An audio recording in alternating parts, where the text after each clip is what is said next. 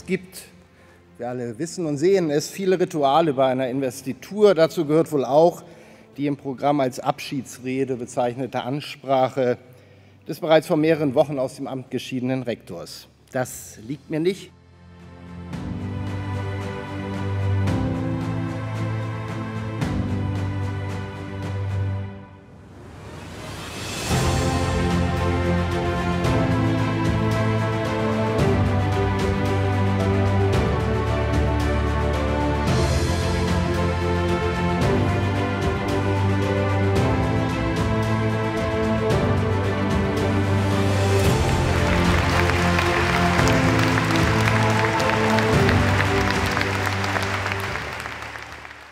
Heute ist der symbolische Tag des Übergangs in der Leitung unserer Universität.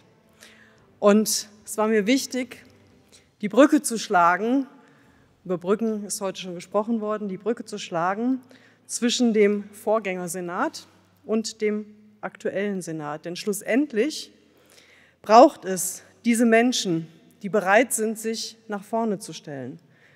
Denn genau für das, für eine solche Vernetzung, für Querverbindungen, für den Brückenschlag über die einzelnen Fachdisziplinen hinweg, bietet diese Universität, unsere Martin-Luther-Universität, beste Voraussetzungen.